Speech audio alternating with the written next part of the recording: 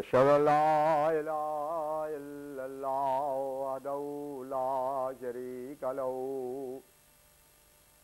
وأشهد أن محمدا عبده ورسوله.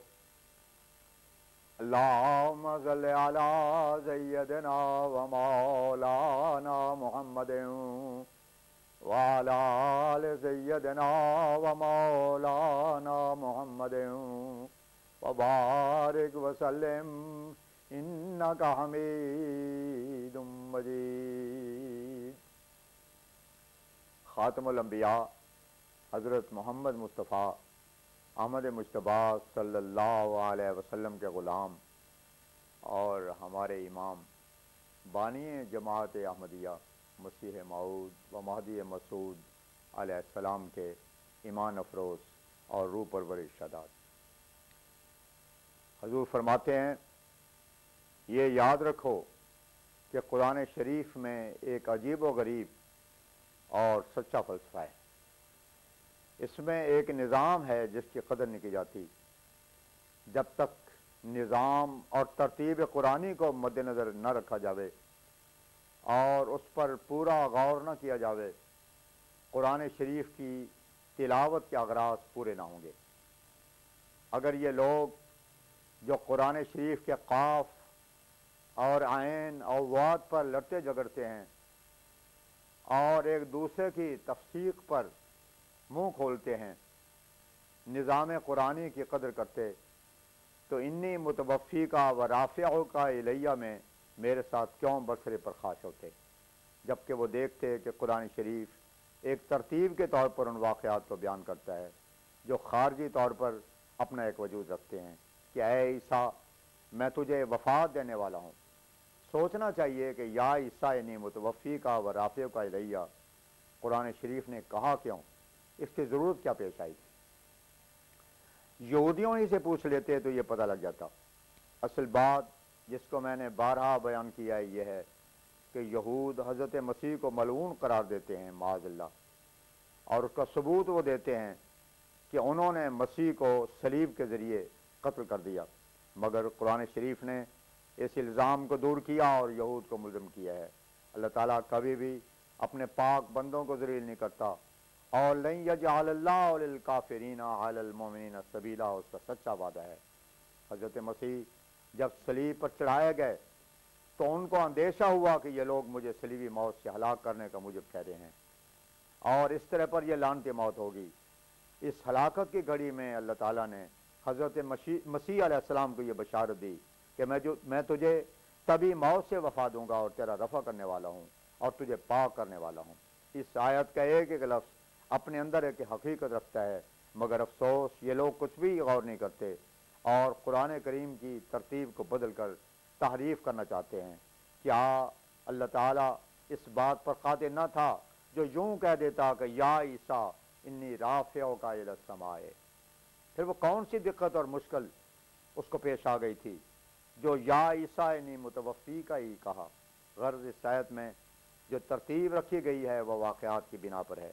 وہ آمک ہے جو کہتا ہے کہ ترتیب واؤ سے نہیں ہوتی۔ اگر ایسا ہی غبی ہے کہ وہ اس کو نہیں سمجھ سکتا، تو اس کو واقعات پر نظر کرنی چاہیے۔ اور دیکھے کہ تطہیر رفع کے بعد ہوتی ہے یہ پہلے۔ اس تطہیر میں درس اشارہ ہے اس عمر کی طرف۔ کہ تیرے بعد ایک رسول آئے گا جو حکم ہو کر تیرے نسبت جھگڑے کو فیصل کر دے گا۔ اور جس قدر الزامات یہودی تو اس پر لگاتے ہیں، ان سے تجھے پاک ٹھہرائے گا۔ تین ترتیبوں کے تو یہ مخالف بھی قائل ہیں۔ یعنی رافع کا الیہ و متواہروں کا من الزین کافرو و جائل الزین طبعو کا فوق الزین کافرو یہ تو مانتے ہیں کہ مرتب کلام ہے۔ اس میں جو کچھ وعدہ اللہ تعالیٰ نے فرمایا ہے وہ پورا ہو گیا۔ جسمانی رفع کے قائل اس میں کچھ کہہ نہیں سکتے۔ مگر مجھے حیرت ہوتی ہے کہ جب تین ترتیبوں کے وہ قائل ہیں اور انہوں نے اس کو تسلیم کر لیا ہے، تو توفی کے لفظ کو اٹھانے کی بے فائدہ کوشش کیوں کرتے ہیں؟ بھلا یہ یہودی طرز اختیار کر کے بتاؤ تو صحیح، اس لفظ کو رکھو گے کہاں؟ اگر رفع کے بعد رکھو تو واقعات خارجہ کے خلاف ہیں۔ رفع اور تطہیر میں فاصلہ نہیں ہے، بلکہ رفع کے بعد ہی تطہیر ہے۔ ہاں حضرت صلی اللہ علیہ وسلم نے یہودیوں کے اس الزام سے کو نبی بھی نہیں مانتے تھے اور ملون قرار دیتے تھے۔ اور عیسائی کہتے تھے کہ ابن اللہ اور اللہ ہیں، جس کو آسمان پر اٹھایا گیا اور وہ ہمارے لیے ملون ہوا۔ حضرت عیسیٰ علیہ السلام کو بری کیا ہے۔ یہ دو انگلیوں کی طرح ہیں، ان کو الگ کر سکتے ہی نہیں۔ اور جائل الدین تباؤ کو کو دیکھو تو وہ قیامت تک متحرہ کا متحروں کا کے بعد کسی دوسرے لفظ کو آنے نہیں دیتا، پھر اس کو رکھو گے تو کہاں رکھو گے جس طرح پر واقعات ظہور میں آئے، اسی طرح سے بیان کیا ہے۔ اب الٹ پلٹ کر کہاں رکھ سکتے ہو؟ میں تو کہتا ہوں کہ تمہیں خدا تعالیٰ کے کلام کے ساتھ اس قدر دشمنی کیوں ہے جو اس کی ترتیب توڑنا چاہتے ہو؟ کیا تم کو یہی اچھا معلوم ہوتا ہے کہ مسیح کے خدائی ثابت کرو؟ عیسائیوں کے اس مردہ خدا کو کہیں تو مرنے دو۔ تعجب کی بات ہے کہ ایک دفعہ تم کہتے ہو کہ ہم مسیح کو معاذ ایک بندہ اور نبی مانتے ہیں۔ دوسری طرف ان کی نسبت ایسے عقیدے رکھنے چاہتے ہو جو ان کو خدا بناتے ہیں۔ اس کی وہی مثال ہے کہ ایک شخص تو کسی کی نسبت کہتا ہے کہ وہ مر گیا، مگر دوسرا کہتا ہے کہ نہیں، مرا تو نہیں، مگر نبز اس کی نہیں چلتی، بدن بھی ٹھنڈا ہو گیا ہے، سانس بھی نہیں آتا۔ اے دانش مندو غور تو کرو، اس کے مرنے میں کیا شک رہا؟ جس کی زندگی کا کوئی بھی اثر نہیں پایا جاتا۔ تم کہتے ہو کہ مسیح خدا نہیں، مگر مانتے ہو کہ وہ آج تک زندہ ہے اور زمانے کے اثر سے محفوظ اور اللہ تبدیل، غیر متغیر ہے۔ تم کہتے ہو مسیح خالق نہیں، مگر مانتے ہو کہ اس نے بھی کچھ چڑیاں بنائی تھیں جو ان چڑیوں میں مل گئی ہیں۔ تم کہتے ہو کہ مسیح عالم الغیب نہیں، مگر یہ مانتے ہو کہ وہ تمہارے کھانے پینے کی چیزوں اور تمہارے گھروں کے ذخیروں کی اطلاع دے دے دیتا بڑے شرم کی بات ہے کہ مسلمان کہلا کر ایک خدا کو تمام صفات کاملہ سے محسوب مان کر پھر اس کی صفات ایک عاجز انسان کو دو، کچھ تو خدا کا بھی خوف کرو۔ یہی باتیں ہیں جنہوں نے نصارہ کی قوم کو جرت دلا دی اور انہوں نے تمہاری قوم کے ایک بہت بڑے حصہ گمراہ کر ڈالا۔ تمہیں کچھ کب خبر ہوگی جب سارا گھر لوٹ چکے گا؟ تو میرے ساتھ دشمنی کرتے، مگر اپنی جانوں پر ظلم کرتے ہو۔ میں نے کون سی انوکھی بات کہی تھی؟ میں تم سے کیا کچھ مانگتا ہوں؟ پھر مجھ سے عداوت کی کیا وجہ؟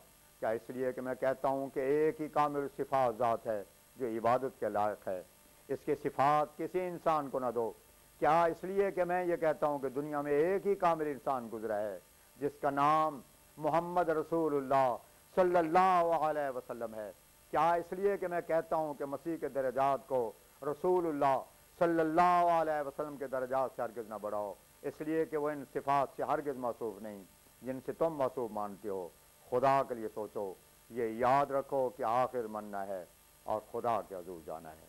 حضرت مسیح معود علیہ السلام نے درد دل سے فرماتے ہیں، مسلمانوں پہ تب ادبار آیا کہ جب تعلیم قرآن کو بلایا، رسول حق کو مٹی میں سلایا، مسیحا کو فلک پر ہے بٹھایا۔ یہ توہین کر کے پھل ویسا ہی پایا، احانت نے تمہیں، احانت نے انہیں کیا کیا دکھایا؟ خدا نے پھر تمہیں اب ہے بلایا کہ سوچو عزت خیر البرایا۔ ہمیں یہ راہ خدا نے خود دکھا دی۔ فسبحان اللہ اخذ اللہ عادی وآخر دعوانا الحمد للہ رب العالمین۔